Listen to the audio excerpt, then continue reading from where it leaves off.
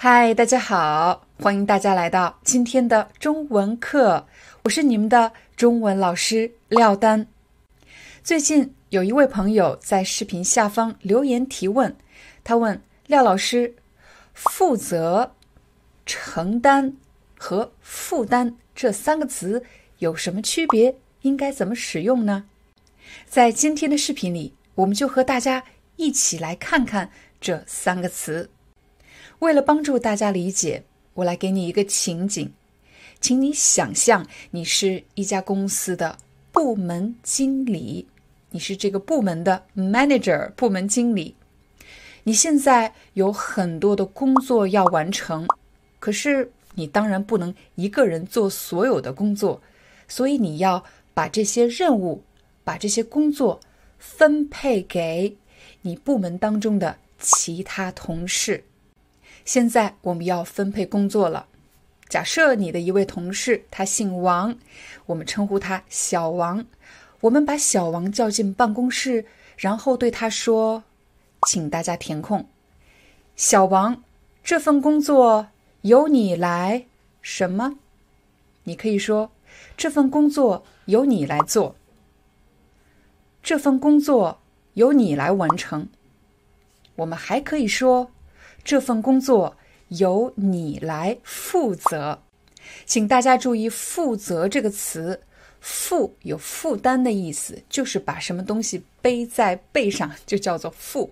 责呢，责任，我把什么背在背上？我把责任背在背上。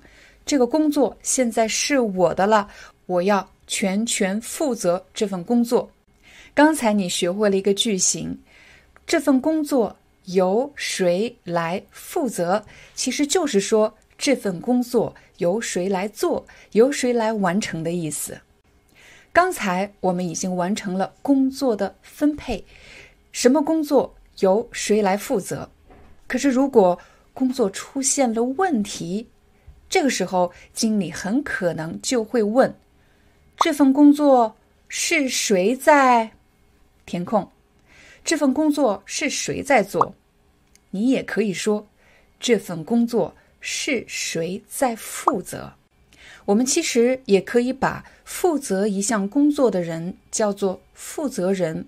谁是这项工作的负责人？谁在负责这个工作？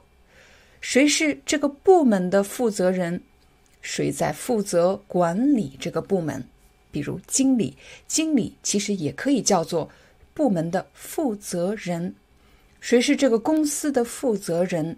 谁在负责管理这家公司？负责人。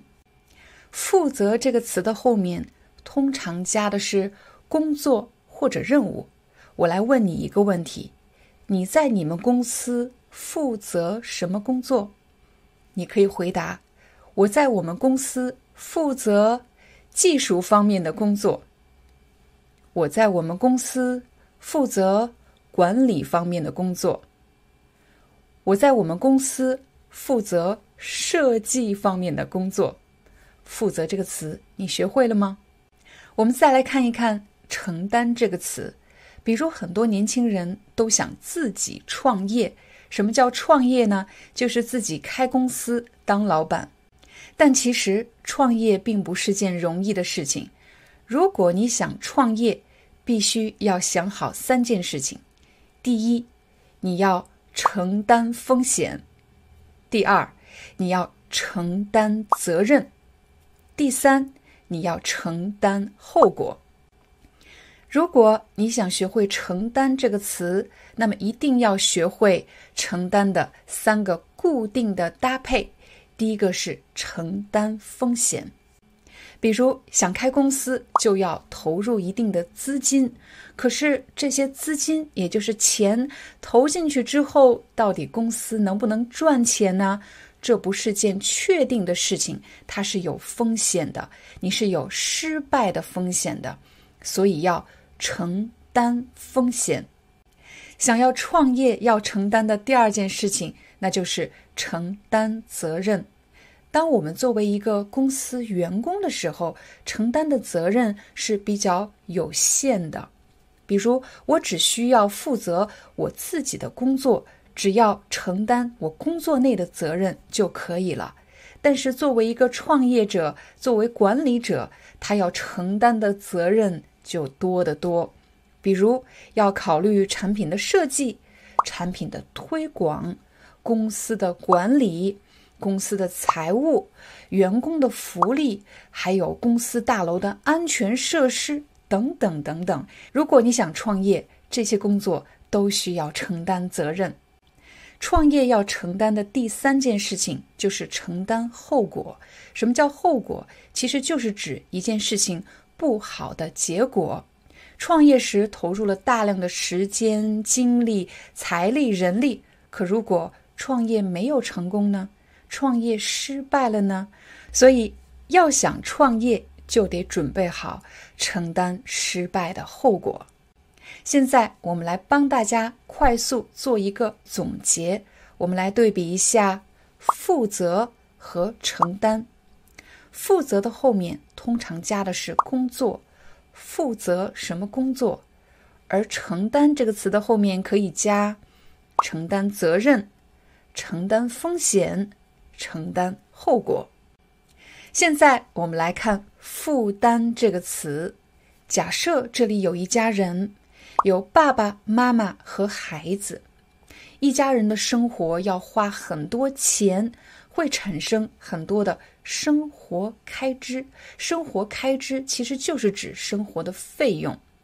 如果这家人是爸爸妈妈两个人都工作，我们可以说是夫妻两个人来负担全家人的生活开支。爸爸妈妈他们挣的钱。来支付生活费，但如果这家人只有爸爸工作，妈妈不工作，我们就可以说是爸爸一个人在负担全家人的生活开支。你注意到了吗？“负担”这个词的后面一般加的是费用，比如负担学费、负担旅行的费用。我们来给大家一个例子。假设有两个年轻人在谈恋爱，他们约好了一起去旅行。在这种情况下，你觉得应该由谁来负担旅行的开支呢？是应该由女孩子来负担旅行的开支，还是应该由男孩子来负担旅行的开支？又或者应该他们两个 A A 制？A A 制的意思就是每个人负担自己那部分的开支。